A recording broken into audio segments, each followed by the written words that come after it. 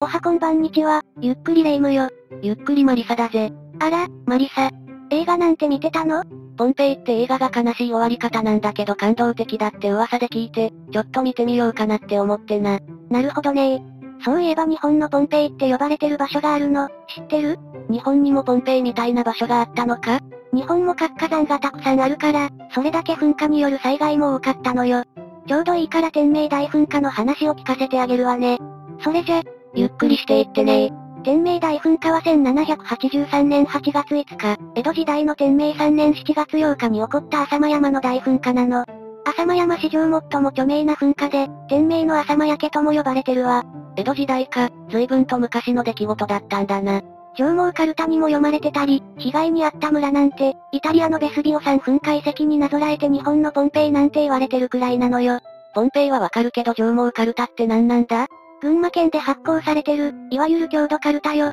群馬県の歴史、自然、人物、産業なんかを読んでるわけだから、当然天明大噴火も含まれてるの。なるほどなそもそも浅間山は現在の群馬と長野県の県境にそびえている、標高2568メートルもある日本を代表する活火山で、過去に何度も噴火を起こしてるの。最古のものだと西暦685年、白鳳13年の噴火で、日本書紀にも書かれてるみたいね。噴出物の調査をすると追分原と六里ヶ原に大量の火砕流を押し出して、山麓一帯が火砕流で焼き払われて大変な被害が出てたみたい。随分と古い時代から噴火を起こしてた山だったんだな。旧暦の4月から7月初旬まで断続的に活動を続けてて、天明3年4月9日に最初に明動が記録されたの。活火山から突然大きな音が響いてきたら、さすがに心配せずにいられないよな。その後5月26日、6月27日と、1ヶ月ごとに噴火と小康状態を繰り返しながら活動を続けて、6月28日頃から噴火や爆発を毎日繰り返すようになってたの。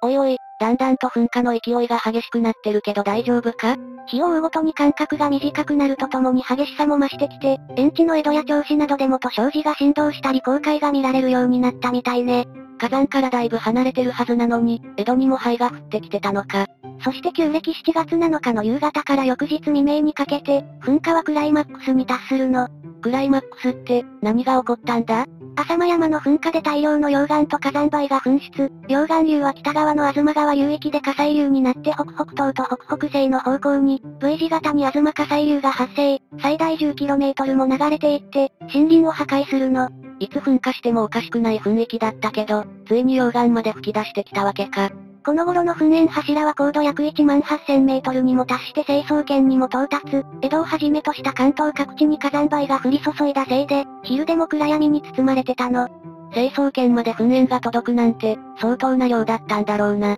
そして翌7月8日の午前10時頃、美濃国に大爆発が発生。大爆発音は東北京都や中国四国などでも聞こえたみたい。四国まで音が聞こえてくるなんて、だいぶ激しかったんだな。約3ヶ月続いた活動で、山腹に堆積してた大量の噴出物が爆発、噴火の振動に耐えきれず崩壊、大規模な土石なだれになって北側へ高速で押し寄せてきたの。鎌原火砕流とか、岩石なだれとか、鎌原土石なだれとも呼ばれてるわ。煙の次は火砕流か。ふもとに住んでた人たち、さすがに溜まったもんじゃないだろうな。高速化した巨大な流れが山麓の大地をえぐり取りながら遊下、北陸の鎌原村を壊滅させてしまったの。村が丸ごと被害に遭ってしまったのか、さすがにかわいそうだな。さらに東川に流れ込んで天明泥流って呼ばれる大規模泥流になって、東川沿いの村々を田畑や家屋ごと飲み込みながら流れていって、渋川の本流だった利根川に入り込んだせいで、東川利根川の流域を中心に各地で大洪水を引き起こしたの。ただでさえ火砕流で大変なのに、今度は洪水まで起きたのか？増水した利根川が押し流したものすべてを下流に運んで、当時の利根川の本流だった江戸川にも泥流が流入、多くの遺体が利根川の下流域と江戸川に打ち上げられたみたい。単なる洪水ってわけじゃなくて、遺体まで打ち上げられたのか。ここまで壮絶だったなんて、さすがに思いもしなかったぜ。被害が最も甚大だったのは浅間山北麓にあった、当時宿場町として栄えていた上野国吾妻郡鎌原村。今でいうところの群馬県妻恋村鎌原地区付近ね。位置的には河口から約 12km 離れた場所にあったみたい。浅間山から 12km しか離れてなかったのか？どんな被害にあったのか、聞くのが怖くなってくるな。火砕流や土石なだれ等の直撃を受けて埋没、村の人口570人のうち83.7%に当たる477人が亡くなってしまったの。他にも長野原で210名、川島で128名、南木で104名など、群馬県下で1400名を超す犠牲者を出してしまったの。ふもとだから仕方がないだろうけど、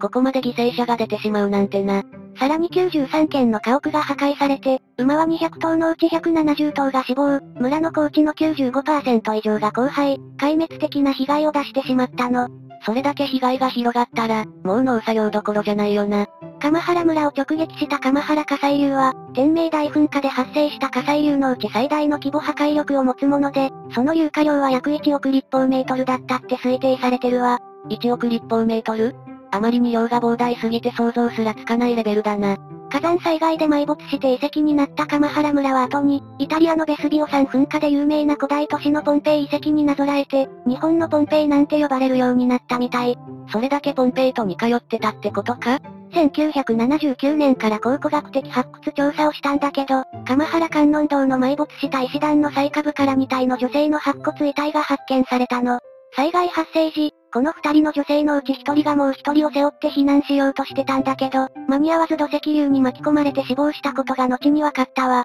避難する途中で間に合わなかったわけだな。かわいそうに。一応、鎌原村出身の生存者も93人いて、西側の丘の上にあって、ちょうど高所だった鎌原観音堂に避難してたおかげで助かったみたい。当時は50段の石段があったみたいなんだけど、15段だけ残して半分以上が埋まってしまったの。高台に建ててあったはずなのに、石段の35段部分まで土石流で埋まってしまったわけだな。軽井沢宿から桶川宿まで4月から7月までの長期にわたって、火山歴、火山砂、そして火山灰などの被害を受けてたみたい。特に中山道筋の中で浅間山の噴火による家屋の被害が最も大きかったのが軽井沢宿だったの。軽井沢なら知ってるけど軽井沢宿って何なんだ？軽井沢宿っていうのは、中山道69次のうち江戸から数えて18番目のところにある宿場よ。ふむふむ。噴火による積熱した火石玉、火山灰の崩落で家屋の消失全壊半壊、草木や農産物も全滅して、さらに勾配や大雨による土石流の被害もあったみたい。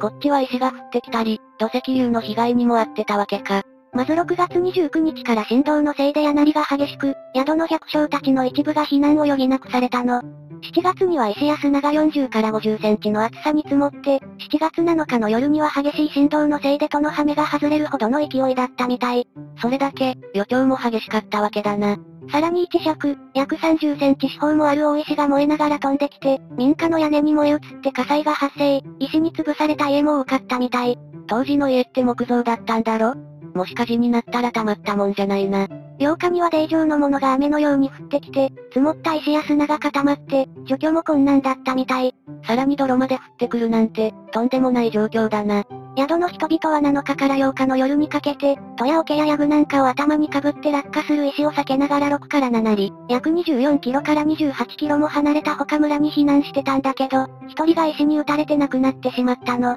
逃げてる途中で亡くなってしまうなんて、あまりに不憫だな。結果的に70件の家屋が倒壊、51件が消失、65件が大破して、全戸が何らかの被害を受けたみたい。無事に避難できた人も、家が潰れて色々と大変そうだな。遠く離れた井戸でも噴火の影響が発生してて、約3センチも勾配したせいで、昼間でも明かりを要するほど暗くなったみたい。昼でも灰のせいで外が暗くなるなんて、相当な量だぞ。7月6日の暮れからと生じたテグなどがビリビリと地鳴り振動。7日の午前10時頃まで空が霞がかったように一円に曇って、昼頃から風に乗って灰が降ってきたの。江戸にまで地鳴りが響いてきてたのか。暮れ頃から次第に地鳴りが強くなり、灰や砂の降り方も激しくなってきて、夜中には遠雷のような音がして激しく振動、灰や砂も雨のように降ってきたの。灰が雨のように降ってくるなんて、さすがに想像もつかなかったろうな。8日朝には空が土色になって、午前10時頃になっても明け方のように薄暗かったみたい。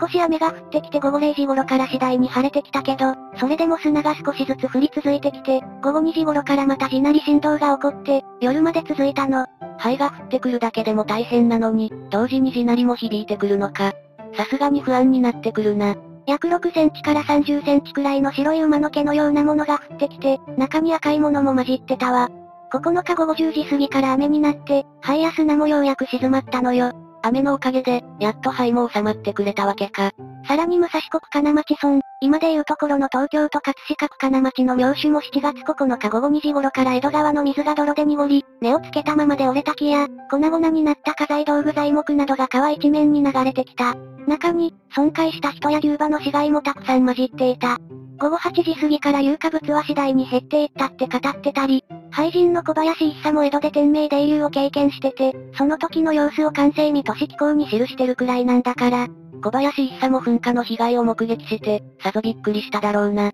余談だけど太郎、今でいうところの岩手県宮古市でも公開の記録があったり、和歌山県田辺市でも明道があったことが近年の調査で分かったわ。岩手や和歌山ってだいぶ離れてるはずなのに、そんな場所にまで被害が及んでたのか？特に薄い峠から倉賀の、新町の間にある田畑すべてに灰が降り注いで、形状すら判別できない状況だったみたい。勾配の重みだけで70件が潰れて、65件が大破してしまったの。灰の重みで家までぺしゃんこになるなんて、相当な量だったんだな。さらに航海が強風に乗って、江戸を含む関東一円のほか、東北地方まで広範囲に広がっていったの。特に勾配がひどかった群馬県東南部一帯は農作物に大きな打撃を受けてしまったみたい。そうか、灰なんて被ったら農作物も売り物にならないもんな。噴火によって発生した大規模泥流が東川や利根川に流れていったせいで、流域の村々を次々に飲み込んで洪水などの大被害をもたらしたの。噴火や勾配の次は、洪水まで起こるのか？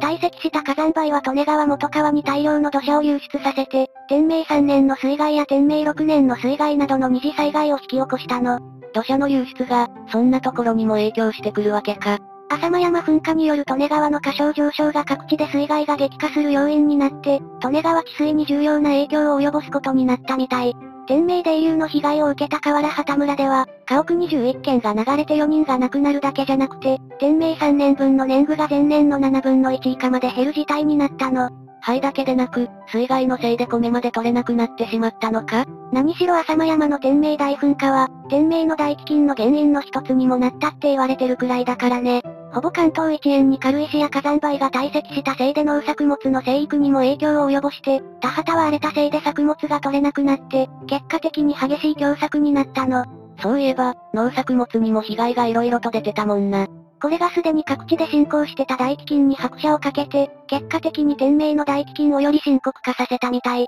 灰が降ってきて、さらに水害のせいで畑がダメになってしまったもんな。実は他にも原因があって、上空に吹き上げられた火山灰が地球の北半分を覆ったせいで直射日射を遮って、地上に達する日射量を減少させたせいで気温も年間1.3度も低下して例外をもたらす結果になったの。航海や水害だけでなく、さらに例外まで起こるのか？もう踏んだり蹴ったりだな。ちょうど同じ年に、東北地方北部にある岩木山が噴火したり、アイスランドのラキ火山でも巨大噴火が起きたり、グリムスボトン火山の長期噴火なども起きてた影響もあるみたいなの。日本だけでなく、世界中の火山が噴火してたってことか？ヨーロッパでも低温等の異常気象が起きたせいで凶作を引き起こして、結果としてフランス革命の発生につながった、とも言われてるわ。なるほどな。そんな形で海外にも影響が出るなんて、さすがに思いもしなかったぜ。当時は猛威を振るった火山も、現代に地形を残してくれたの。浅間山の北側斜面に大規模な溶岩流が流れていって、最後に流出して凝固したものが後に鬼押し出し溶岩って呼ばれるようになるの。